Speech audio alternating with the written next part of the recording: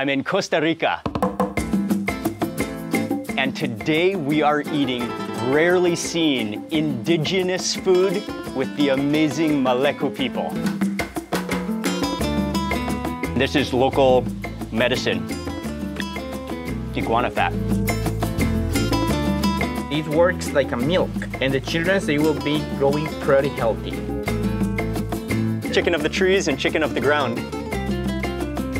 Hey everyone, hope you're having an amazing day. It's Mark Wiens. I'm in San Rafael de Guatuso, which is in Costa Rica in Central America. And this is home to the indigenous Maleku people, who have a population of only 650 people. Today we have a once in a lifetime opportunity where the head of the village, of the community, of his family has invited us over to his house to cook, to eat, to learn about the local, unique, indigenous food. This is food that's rarely ever seen, food that's almost been forgotten.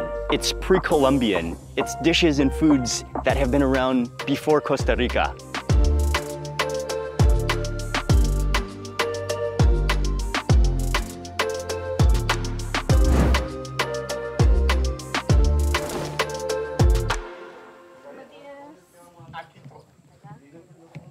Buenos días. Buenos días. Buenos días. Mucho gusto, mucho gusto. Elías. Elías. Mi nombre es Elías. En español, en mi idioma me llamo Hakima.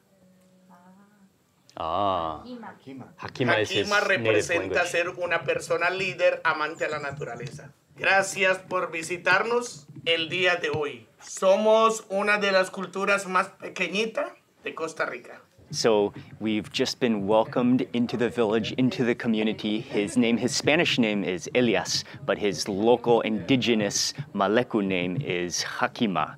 And he's the head of the community, of his household, of his family. And he's in charge of welcoming guests. He's in charge of showing culture, and also, he's also in charge uh, of the food. And he said that they do pottery, agriculture, raising animals, hunting is also a huge part of their culture. Muy bien, amigos. Uh, my name is Alcides Elizondo. Welcome to Malekus community. We are about 650 Malekus surviving today. This is our territory. Uh, the governments they did a reservation in 1977. It has uh, about 3,000 hectares, but we are sad because today of these 3,000 hectares, we are keeping only like 40% of our land in is considered reservation. But we are working hard because we want to recover all, all the land. Uh, why we want to do that? Because originally and legally, Malekus are hunters. Okay, we are in the modern, but today we have this very, I mean, this permission legally. We can hunt, we can go for fishing, we can go for in the forest hunting some animals. Why? Because this is part of the of the tradition for for surviving. We are uh, inviting you to come with us, and we want to show you how can we make some typical food. And now today you are going to have this experience to to try how is the Malekus food, how it tastes. So pura vida and welcome and enjoy with us.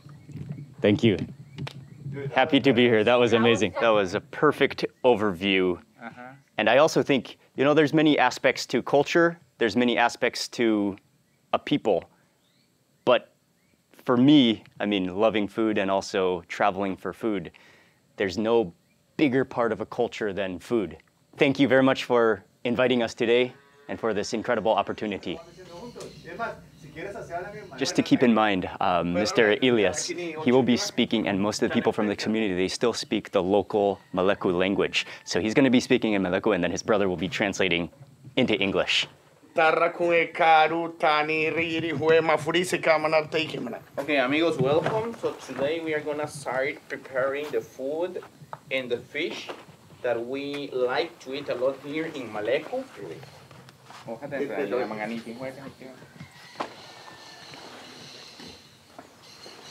Or the most important things for the fish is this leaf that we call anise or estrella. In Maleku language, we call quingon. Quingon is the best part because it's gonna give like the best flavor for the fish. Okay. Okay? This kind of dish in Maleku, we call them mafurise. Ninkotorra. we have to put it around here, around the fire, okay? Like for 30, 40 minutes, something like this. Always depend how is the fire. And after that, the, the, the fish is gonna be ready.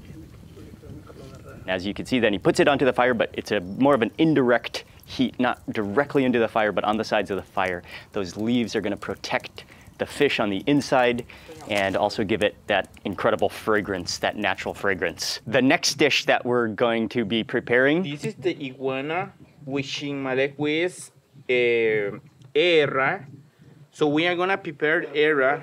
This is part of the tradition and also of the culture that we are still practicing in Maleku. So this is Maleku's typical food. Iguanas, iguanas has the skin. Mhm. But originally, when we are gonna prepare the iguana, we are not going to remove the skin when we are going to prepare the iguana. Okay. Because if we are gonna remove the skin, the families they are not going to like to eat them. Oh, so you need to prepare it with Yeah, the skin on. We have to prepare it with the skin. As they're preparing the iguana, I just want to quickly mention, but as they've already uh, explained well, uh, Costa Rica is very known for its conservation, and they do a great job to conserve. And so, to conserve to the wildlife and the beautiful nature of Costa Rica, and so the only people that are allowed, permitted to hunt uh, are the indigenous people, such as the Maleku people. And so this family, they've kindly invited us over to show their culinary culture that's been done for thousands of years. I mean, they've been hunters, gatherers in this region of Central America for thousands of years. And so we're here to really just learn, to experience, to respect their culture. And they're allowed to hunt. Uh, the Costa Rica government respects their culture as well. And so that's the story of the iguana. It's really a privilege to be here with, with the original landowners of Costa Rica. When we are gonna prepare the iguana, always, always, we are gonna put or bananas or cassava root, which is yuca. People that are having like like a asthma problem here Yeah. in Maleku, Uh-huh. and if you wanna be, uh, if you wanna use a natural medicine, Yeah. You have to eat iguana with a special, uh, how can I say? Is it a fat, that yellow? Uh huh. Yeah. The yellow, it's like yeah, a fat correct. from the iguana? Yeah. Oh, okay. That's why we don't remove that because it is special That's for our health. medicinal. Yeah, yeah. Okay. To make the process a little faster, we're going to move to the gas stove here in the kitchen. Uh, but something that's you have to realize is that the entire iguana is used. Nothing, nothing from the iguana is wasted, right? Everything is used. Everything is Everything is, eaten. is uh, useful because it's- has special things. Yeah. Mhm, This one is cassava. That's also going to go into the iguana.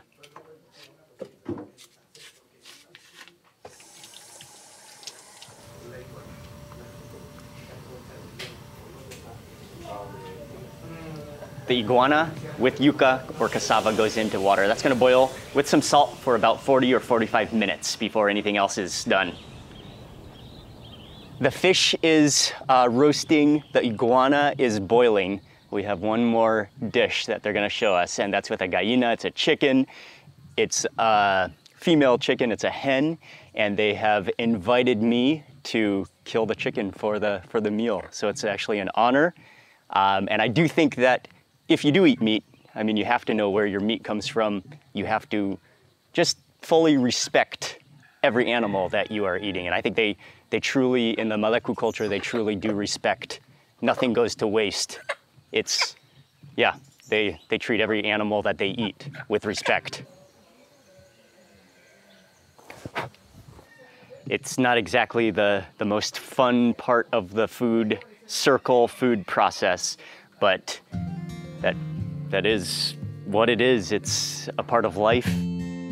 And I mean, especially if you eat meat, it's it's something that I think we should all know where it comes from and uh, know how it's prepared, fresh. And then again, nothing, everything is respected. Everything is the the entire chicken, as with the iguana, as with the fish, will be consumed. Ahora hay que asarlo en Okay. el fuego. Okay. Ajá.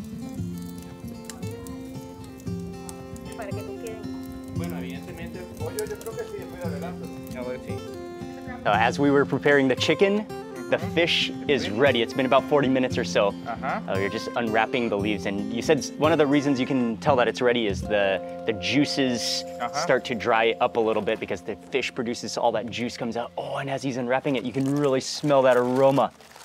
Oh, the banana leaves, but I think even more fragrant is those anise leaves, which have this incredible fragrance to them. Oh, that's so aromatic. We are gonna start So, and so you make sure you eat a little bit of the leaf with the uh-huh, fish. Uh-huh. Okay. So here, Oh, it's so aromatic, that leaf. Oh, beautiful. Look at how juicy it uh-huh. remains. It stays so juicy. Mhm. Okay? and we can start to it. Let's go for it. Yeah. Oh, oh! Look at the oily juiciness of mm-hmm. it. Mmm. Good, right? Mmm. So pure tasting. Just, I mean, just lightly salted. The aroma of the leaf. And it's cooked like perfectly, not overcooked, so mm-hmm. juicy. Mm. Can also mm-hmm. eat the leaf? Okay. Oh, gracias. Yeah. Also got to taste the, the, the flavor of that leaf. Oh, oh, the leaf is mm-hmm. the leaf is amazing. It's, it's The leaf is incredible. It has Yeah. this it has this silky texture to it. One more time you know Uh-huh. the, the, the flavor it's coming from the leaf Mm-hmm. okay again this is anise or estrella in maleku haika or maleku language we call Okay. that huingong Okay, Klingon. that's why today in our community you can see people very healthy Probably- Because of this leaf. uh-huh, because it- because we like to eat natural food Mm. for example like this food no spices everything is natural And this leaf is a big part of the diet. Yeah. It's often Yeah. very, very common Of course, we are, we are eating this kind of leaf always. I think what's incredible about the leaf is that it has this silky texture to it, and it has this just a very light pepperiness, and a really nice fragrance. Uh, and this entire preparation, it's kind of, kind of baked, grilled, but also steamed at the same time because of that packet of leaves that just holds everything in. So that keeps the fish so soft and so, so smooth and so juicy. Bueno, Muy bueno. Mm-hmm. How do you say delicious in Maleku? Echen. Etching. echen Etching. Echen. como ustedes quieran. El, Los el leaves anís are- es el que le da el sabor. Ooh. Oh, that flavor is so nice. No. The leaves are incredible. oh my god, yeah. The leaves And are delicious. So juicy. Yes. Like, perfectly juicy. Yes.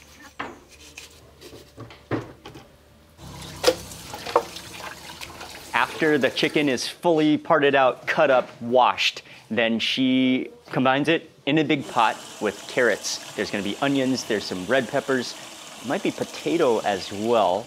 And then one, another one of the main ingredients is chayote, which is like a squash gourd. And that's going to be boiled up into a sauce with the chicken another Maleku recipe using ingredients that they grow, that they produce everything themselves. But in the meantime, as that boils, which is probably gonna boil for another hour, the iguana is ready. Oh, because people know.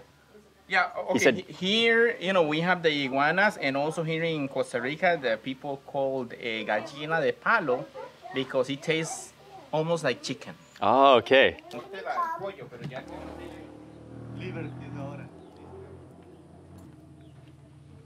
So the La yuca. the yuca, the yuca is boiled. Ajá. Oh, it's soft, really soft. Soft. You can see all parts of the iguana. Everything, the skin, everything is eaten. Yeah. The skin, the tail. Uy, chamurí, mira. So I think this is the tail. Ajá. Okay. Oh, tail section. Bueno, Yes. Ching, ching, what, how do you say? Uh, muy bueno. Etching, etching. Etching, etching. Etching. Oh, ok, oh, with the yuca? la yuca. Etching. It's really pure tasting, really simple, so clean and fresh. Yeah, I wanna, I wanna try one of those legs like Elias ate with the skin. Okay, I'm gonna try one of those legs. Gracias. Okay, so here we go. Mm. It is Ok, really delicious and pure. This is the oily fat, the yellow fat that you could see, and this is local medicine, a medicinal value to it. Yeah. Iguana fat. Mmm.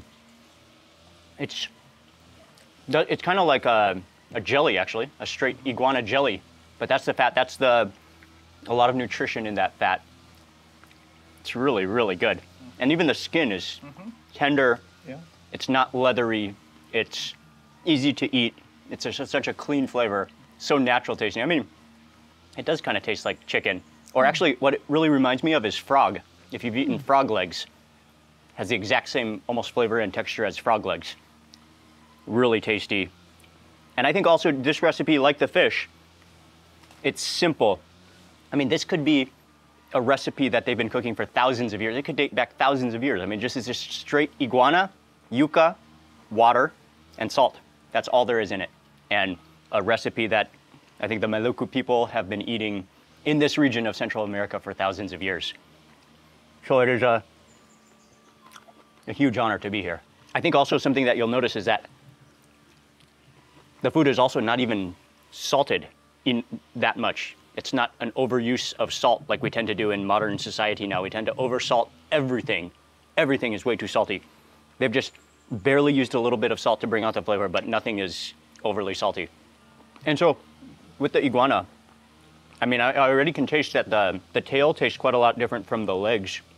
Almost like a chicken, right? Yeah, that's why, you know, here again in Costa Rica, the people call them eh, gallina de palo, chicken of the trees. Chicken of the Yeah, trees. that- that's correct. Because taste almost like chicken. It does. Yeah. It does. And this is very healthy.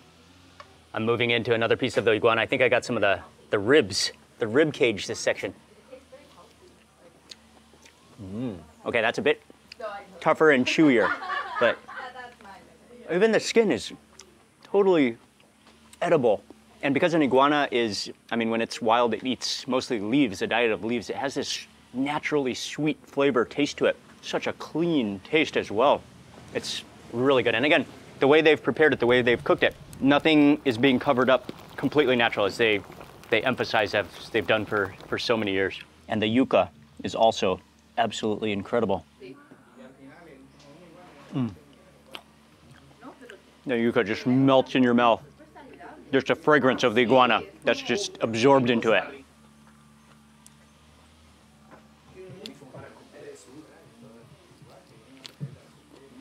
I think just like a chicken, my favorite part of the iguana are the legs. Maduro. Maduro. So they're super ripe, Yes. extra ripe. Yep. So another recipe they're making is a drink which is made from the plantains, which really ripe plantains, which have been roasted in the fire in the coals until charred, and they're actually kind of like burst open with that sugary sweetness, and they're gonna make a drink out of them, a beverage.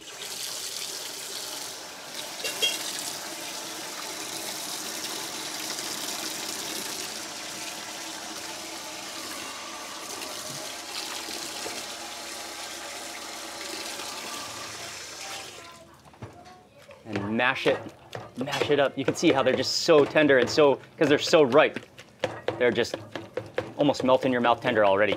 And then also with the combination of how ripe they are and then being roasted in their skin, they're so aromatic. You can, I mean, literally smell like the caramelized sugar in those bananas, in those plantains.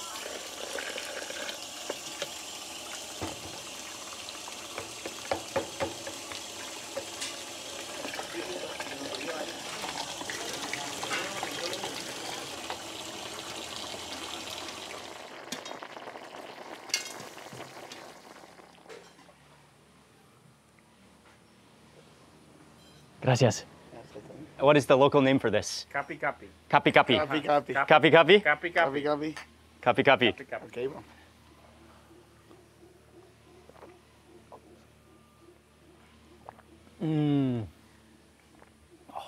Bueno, Muy bueno. echen. Echen. Echen. That Co- is. cocinado Mhm. en la brasa. That's that's it. Like no azúcar. there's yeah no sugar. It literally the purest, simplest beverage you could even dream of. I mean, it's just straight the naturalness of the plantains, super ripe, so that they're like literally bulging with sugars coming out of them. Tossed onto the fire for about 30 minutes until they just burst open.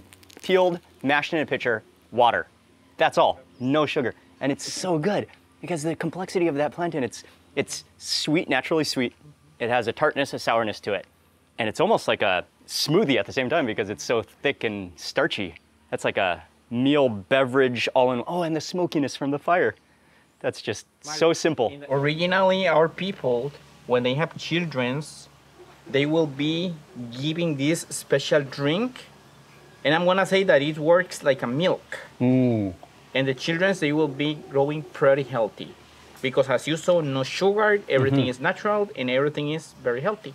But this is machaca in Maleku. Machaca. Mm-hmm. And maybe the natural potassium and the minerals uh-huh. within the yeah, yeah, that's correct. the plantain. That's what also like yeah, that- yeah, acts that's correct. to, to Every single day in our families, we will be drinking this machaca Mm. with our families.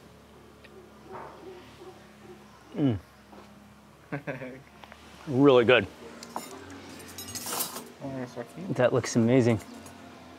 So the chicken is ready. It's been boiling for about an hour. It's stewed down. It's tender. All of those vegetables have just started to, I mean, completely soften and bring out their aromatics and their flavor into the broth. So it's kind of like a soup, kind of like a sauce, but all one chicken in a pot. Oh.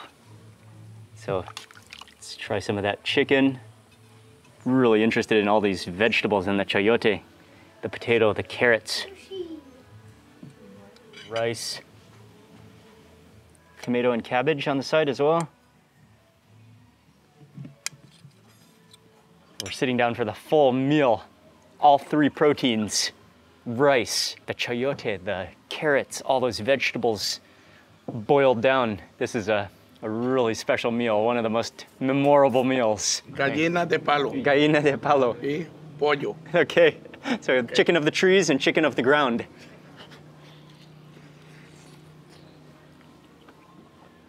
Mmm. Mmm.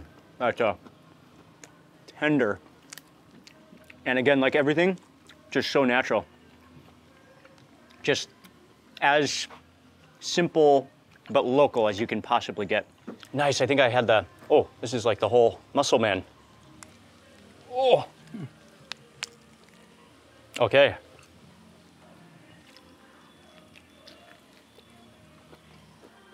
Mm. Mm. And then with all those those vegetables, the rice, that completes the meal.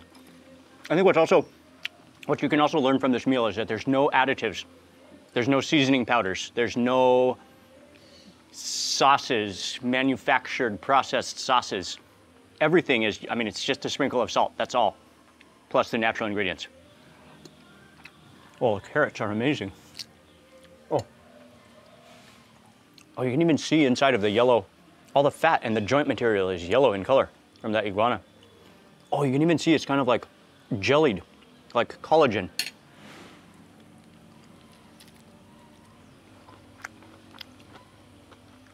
And then along with the, the yuca as well, just melting.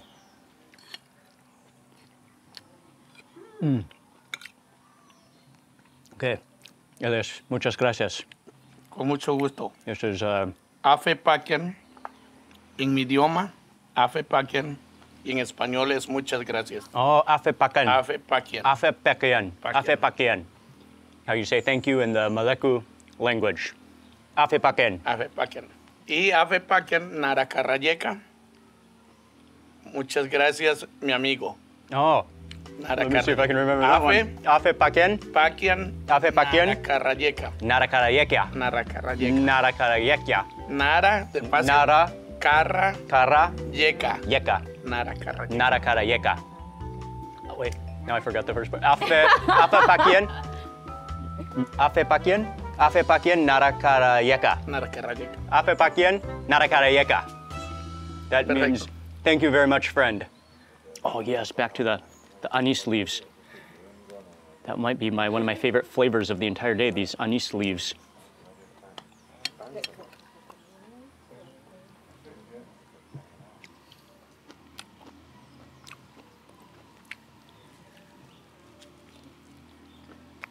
Wow.